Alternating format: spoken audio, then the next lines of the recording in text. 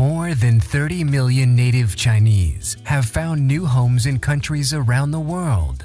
Wherever they now live, they share one thing in common.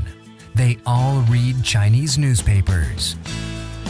Sing Tao Daily was the first Chinese newspaper to establish international offices, namely San Francisco, Los Angeles, and New York, as well as major metropolitan areas in Canada, Europe, and Australia.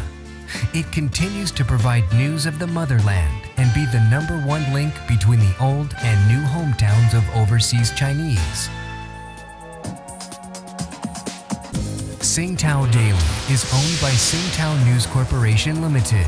Other publications include the English language Daily Standard newspaper in Hong Kong focusing on business news, a wide range of magazines focusing on targeting markets like real estate and fashion, books including travel, lifestyle, entertainment, and others. Since 1938, Sing Tao Daily has been to overseas Chinese what the New York Times is to New Yorkers.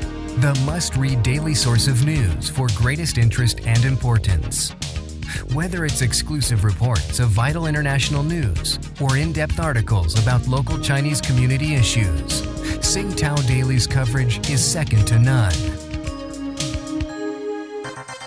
Over the years, Sing Tao Daily has received numerous local and international awards for journalistic excellence from prestigious professional organizations.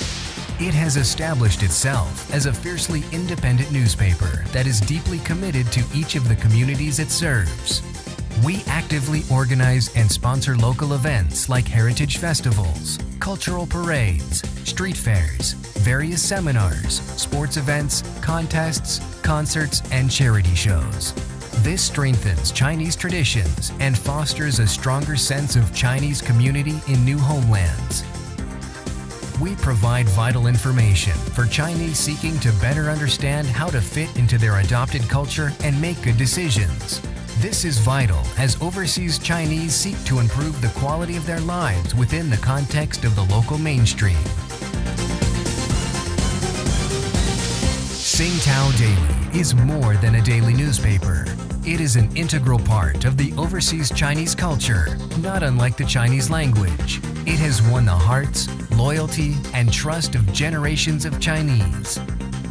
For millions, it truly belongs to the Chinese, wherever they are, in the global village.